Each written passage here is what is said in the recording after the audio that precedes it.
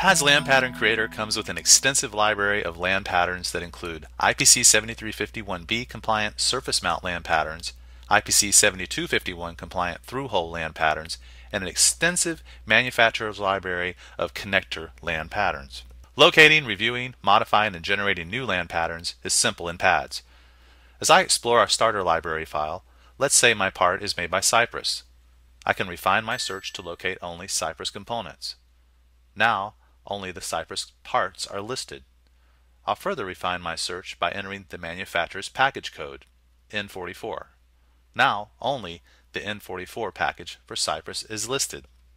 Selecting the Online Link button launches my web browser to the manufacturer's datasheet.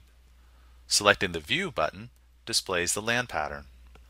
I can now review or make any modifications I desire to the land pattern. For example, I can add fiducials or add or remove a thermal pad.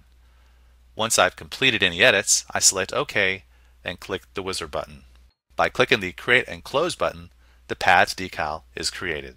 And finally, PADS LP Creator will even create a datasheet for the land pattern to archive with the project if desired.